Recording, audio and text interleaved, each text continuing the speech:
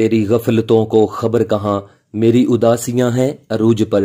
पूरी दुनिया से बेखबर होकर महबूब सिर्फ़ और सिर्फ़ आपकी खबर रखेगा। इस अमल के बाद आपका महबूब लालची हो जाएगा।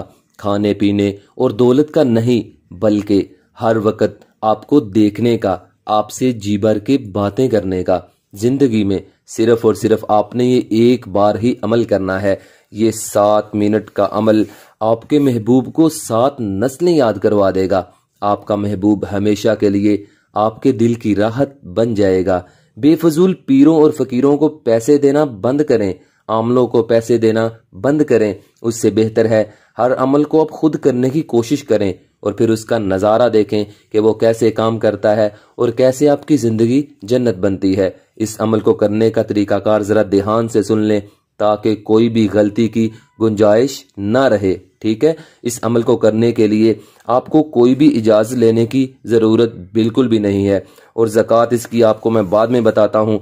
और दिन इसका ये है कि आप ये तीन दिन ये अमल कर सकते हैं। ठीक है? तीनों दिनों में से किसी भी दिन आप ये अमल कर लें। चाहे सोमवार वाले दिन कर लें, चाहे बुध वाले दिन कर लें और चाहे जुमे वाले दिन कर लें।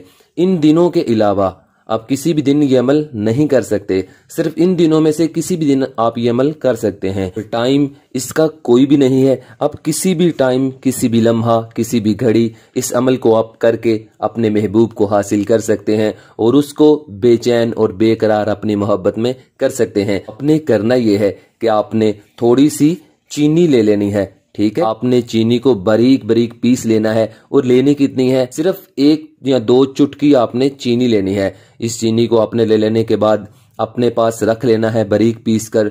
उसके बाद आपने वज़ू कर लेना है। आपने दो रकत नफल अदा करने हैं। दो रकत नफल अदा कर लेने के बाद आपने उसी मुसल्ले पर बैठे रहना है और आपने ये आयत पढ़नी है जो आप अपनी स्क्रीन पर देख रहे हैं।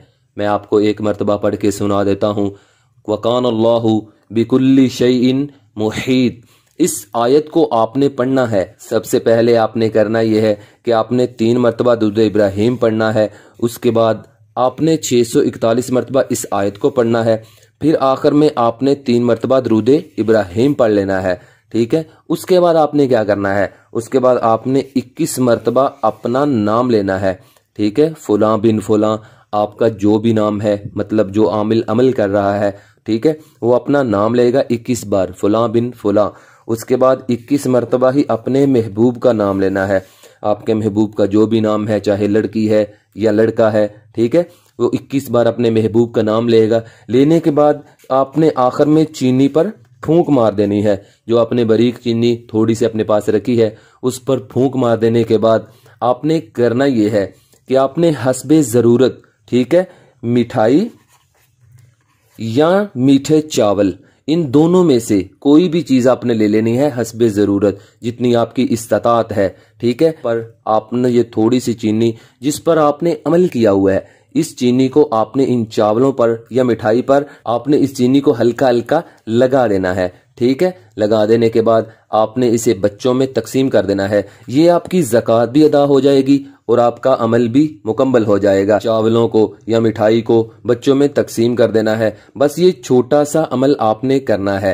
ये छोटा सा काम करने के बाद आपके महबूब के दिल में आपकी मोहब्बत का महल तमीर करना इस अमल का काम है। फिर वो होगा आपका जीवन साथी और करेगा आपसे रात दिन मीठी बातें। आपकी वजह से उसके दिल में कोई शिकवा और शिकायत नहीं होगी। आपका महबूब हमेशा हमेशा के लिए आपका हो जाएगा। अल्लाह सबको हमेशा खुश रखे, जिसके साथ वो खुश रहना चाहते हैं। ए अल्लाह, जो पसंद की शादी करवाना चाहते हैं, उनको इस नेक मकसद में कामयाबी और कामरानी अता फरमा। ए मेरे प्यारे अल्लाह, मेरे जितने भी प्यारे भाई और मेरी चाँद जैसी प्यारी बहनें, उन्होंने दुआ के लिए कहा है, उनके दिल की दुनिया बदल दे उनको बेशुमार दौलत से नवाज़ दे। उनकी हर ज़रूरत को, हर ख्वाहिश को, हर मकसद को पूरा फरमा।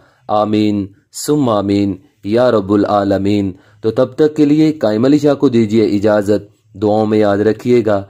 बहुत सारा प्यार। ओके, अल्लाह हाफिज़।